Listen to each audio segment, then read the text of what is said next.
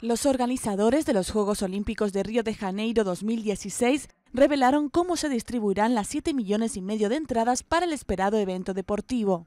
El 70% serán vendidas a residentes en Brasil, quienes deberán registrarse en la página de internet rio2016.com. Tras el registro, el plazo para aplicar empezará en marzo. Los que se pierdan esta primera ronda todavía tendrán una segunda oportunidad. Si te pierdes la primera ronda de entradas, que es en marzo, la siguiente oportunidad será en octubre. Por lo tanto, es muy importante registrarse en marzo para tener más oportunidades de conseguir entradas.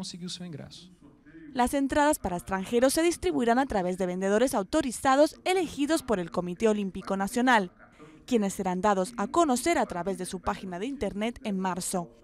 Solo la mitad de los tickets estará disponible por 30 dólares o menos, con descuentos para pensionistas, discapacitados y estudiantes. En esta ocasión no habrá entradas gratis, pero podrán abonarse en cuotas de hasta cinco meses.